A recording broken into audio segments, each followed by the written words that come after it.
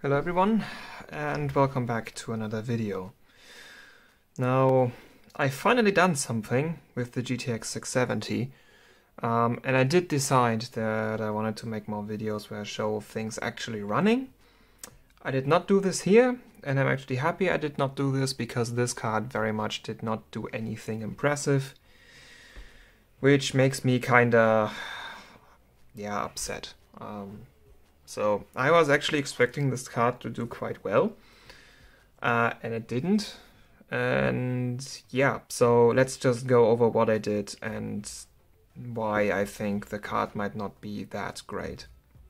So, uh, you haven't seen this card in quite a while. This is the GTX 670 for the win from EVGA.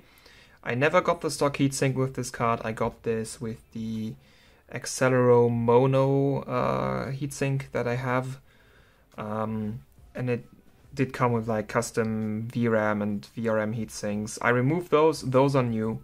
I reattached those because running the VRM naked is a bad idea. Um, and yeah, so I've gone around to running the card again. Um, mostly I've been putting off running the card just because no custom air cooler I have actually fits the card except the one that came with it and that's not really powerful enough because this connector right here just collides with the Morpheus and the Accelero, like the other Accelero heatsinks. So the only thing I can run this with is with the small-ish heatsink that it came with and on water. So I ran this on water. Actually lapped the, the, the block. I recently got some uh, sandpaper and you can see here I this is like a test run. This used to be the uh, GTX 470 IHS. And here you can see how non-flat that actually is. This is about an hour of lapping with like uh, 60, 180, and 400 grit sandpaper, and you can still see the nickel in it. And you can see how rough it is. Like, I did not use any smooth sandpaper on this yet. So, yeah. Um, the block looks much better. Uh, it actually, like, it's basically like a mirror. Though in the middle it's not quite as soft because I um, didn't sand it down enough. But it's, it's still better than what it was before. Um, so yeah, the card, uh, the PCB of it is not really spectacular. It's basically a GTX 680 reference PCB, just with the 670 core on it. Uh, it's a four-phase uh, V-core.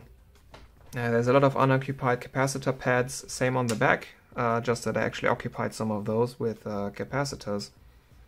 memory, just your standard two-phase, which I couldn't put heatsink on here. So I put it on the back because on the front it wouldn't. Like those MOSFETs are just far apart from each other that the heatsink doesn't fit. Um, so yeah. So before I modded the card today, um, I was expecting this to do kinda well because this card ran pretty much the same clocks at the same voltages that the 780 Jetstream did. And the 780 Jetstream turned out to be an awesome card. It was really fun. Like it did over like 1437 core.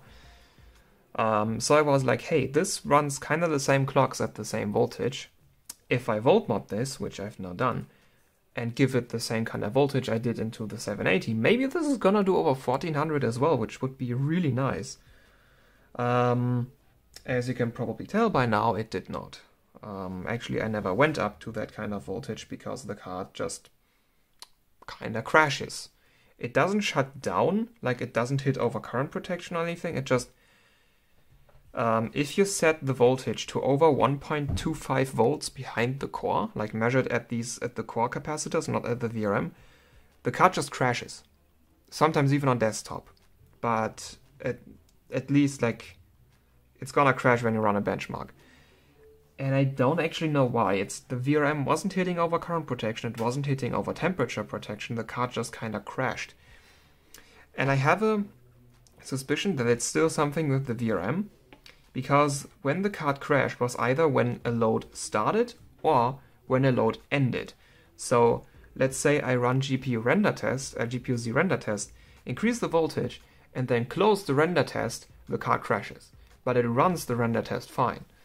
So I'm like, maybe this is just a voltage regulation thing, and whenever a transient occurs, the VRM just kinda puts out a voltage that is so low or so high that it just hits some kind of protection and resets. Um, because the VRM doesn't turn off, the card just kind of crashes, and you have to um, you have to press the reset button. Um, so, yeah, I have removed the e power 5 from the GTX 580 since um, well I'm I haven't given up on that card. I've just more like postponed that project indefinitely. So the e power 5 is free again, and I was considering putting it on this card. The only way is just attaching it would be kind of hard because of that connector again. Like doing it like this would make it really awkward just to position the card. Doing it like this would be really weird to attach here and maybe on the back you have vCore and ground strips right here. And uh, doing it like that could be an option but then how do you power memory? Because you then got memory power over there and memory power needs to go here. So I guess I'll find out. Like I, I, will figure out a way like whatever. But there's another problem. If I want to use the e-power I think I will have to invest into a new soldering iron. So, uh, as you see here, there's a lot of solder, especially this blob here. There's a lot of solder left on the e-power, and that's not because I left it there, because I couldn't remove it.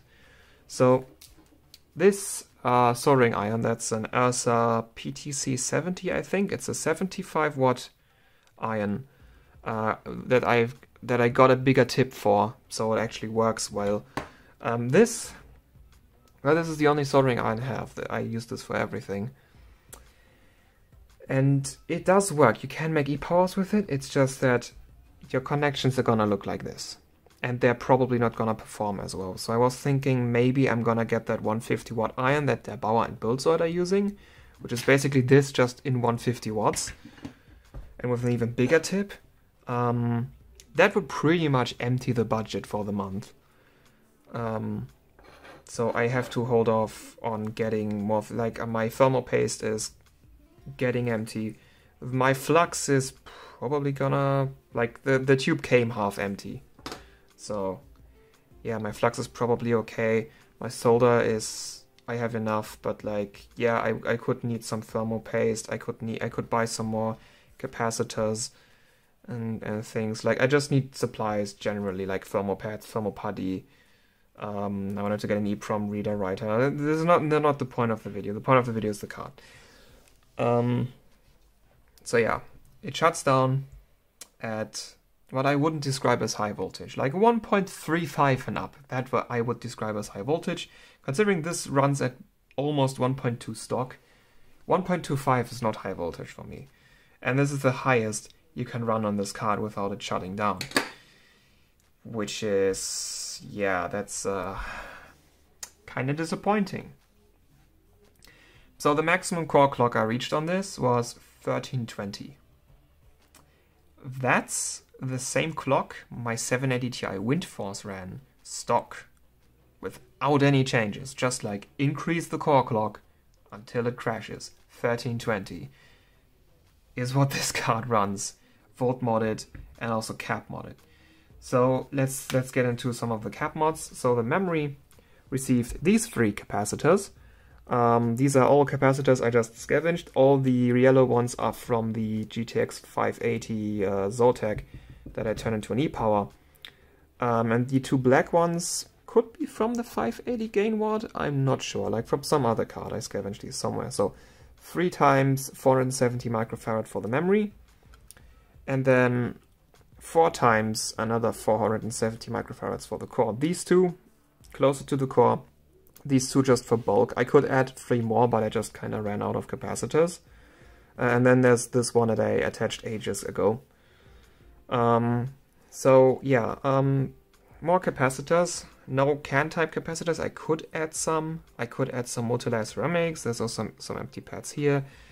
Didn't bother with that. It was just a kind of quick mod. Um, I can't really tell how much the capacitors helped. I didn't test for max memory clock, really. Like it ran plus 700, but I think it did that before. And on the core, well, I also increased voltage, so I can't really tell what they did, but they, uh, I mean, more capacitors on a card that doesn't really have a lot of them, on an architecture that is known to scale with like voltage and capacitors, so it probably did something. I just can't quantify it. Um, so yeah, then for your for the volt mod, uh, yeah, hookup point is right here. The hookup point. The controller is an, uh, can you see it on the, yeah, it's an NCP 5392P. Don't know, like, where do I have my light? Yeah, it's a 5 NCP 5392P. See it? Come on, camera. There you can see it. So that's your hookup point uh, for the volt mod. I used a 200 kilo ohm potentiometer. Um, and yeah, that's pretty much it. Uh, should give you, I actually don't know where this tops out because, well, again, the card kind of shuts down if at like pretty low voltages already. Um, but yeah, you might want to use a slightly smaller one if you want to go really high voltage, like 1.45. And I'm pretty sure the VRM would blow up at that point. Um, actually, I wouldn't, like, I was, like, I, when I ran the card, I was like, yeah, I'm not gonna be soft with this one. If this VRM blows up, I'm completely okay with it. I'm just gonna attach the power. Because the card might be destined for that anyway, especially after what I know about the card now. Um, so yeah, uh, this this card was very much not fun. Um, I mean, it was kind of fun. It, uh, it it it still ran faster than before. Faster topped out at 1267. Now it does 1320. Neither of these are really impressive. Um, it's still faster though. Like, yeah, I mean, I made it faster, but I didn't make it fast enough. It's basically what I'm trying to say. Um, also, I didn't volt mod memory because that controller there is one of the unidentifiable, like unidentifiable ones. If you Google whatever is on that controller, you're not gonna get any. I think I actually Googled the markings on the controller and I got some sort of address in the US. So, yeah, uh, it probably is a Richtek controller. They do have a PDF how to decode the thing. I think I have that PDF somewhere. I could probably find out what this is and find the feedback pin and then mod memory. Uh, am I gonna bother with that? Hard to say. Um, like the ePower 5 is just... I don't know if ePower 5 is worth wasting on this. Um, because like the the Power 5 is meant for like high-end cards and this is a GK104. This is very much not really that high-end. This would be fine with one of these six-phase e-powers I made from 580s. I would just have to detach it from my 460. Because I've... Well, I could run that once some more, but like I don't really feel like that so I could just remove that one. That one's easier to remove because it's using cables, not copper. Uh, yeah, not pure copper thingies. I could attach it to this. Uh, it wouldn't be that big of a VRM upgrade. It would still be two more phases. Um, so yeah, and then I could volt mod memory because that EPOW only has one rail. Uh, that could help the card. I don't know if it will. Um, so from what I can tell, this card, like, this has been scaling kinda well so far. Like, I mean, stock, this was like, I think 1.175, and I brought it to 1.25. That's 75 millivolts. That's not that much, and it still scaled from 1267 to 12 uh, to 1320. Um, that scaling is that's actually decent scaling. That's that's not bad. It's just that the voltage ceiling is kind of low. Um, so if I attach the 6-phase E-power, which can run, well, I mean, a 580 puts a lot more current than this does. Uh, also, this just runs generally higher voltage, so uh, current draw should be slightly lower if you assume power draw is about equal. Um, yeah, this would probably be fine with one of the 580 E-powers. Uh, maybe that's the next step. Um, but yeah, as as the card is right now, I'm kind of disappointed. Um, cause like yeah, uh, it, it it just isn't really that impressive. Like for for the sort of mods I did to the card, I was expecting more than just 1320. Cause as I've said, cards can get that clock stock.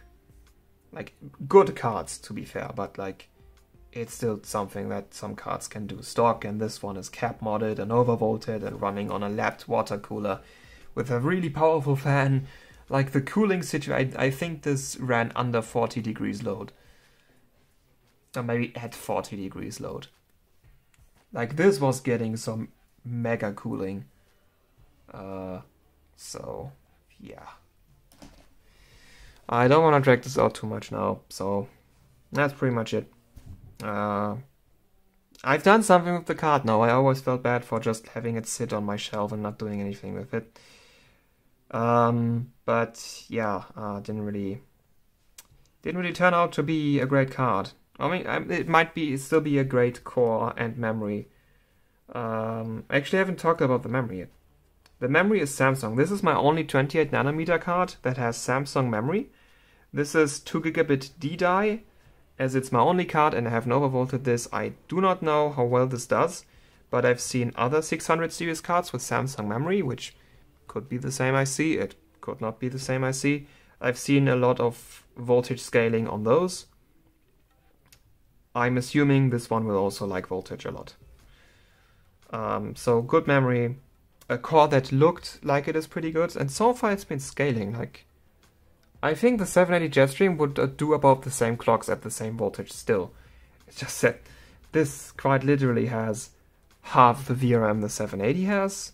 To be fair, it's also just a GK104, but this VRM just seems inadequate because I don't I like I don't know why a card would crash just because I overvolted and not really like by a lot. 1.25 is not a lot. Um, I think it's just the VRM doing weird stuff. So um, I guess the best way of improving this card is just replacing the VRM, which I might do. Uh, it kind of depends on how I'm feeling. Uh, kind of, I have to do some university work right now, so I will likely not be putting that much time into overclocking stuff right now, which is also why video uploads have been slowing down a bit. But I mean, if I feel like it, like I'm, I, I, I do a lot of things on short term. So one day I just kind of feel like doing things and then I do them. So yeah. Uh, don't want to hit 20 minutes now, so this is really the end of the video. Uh, thank you for watching, hope you enjoyed, and until next time, goodbye.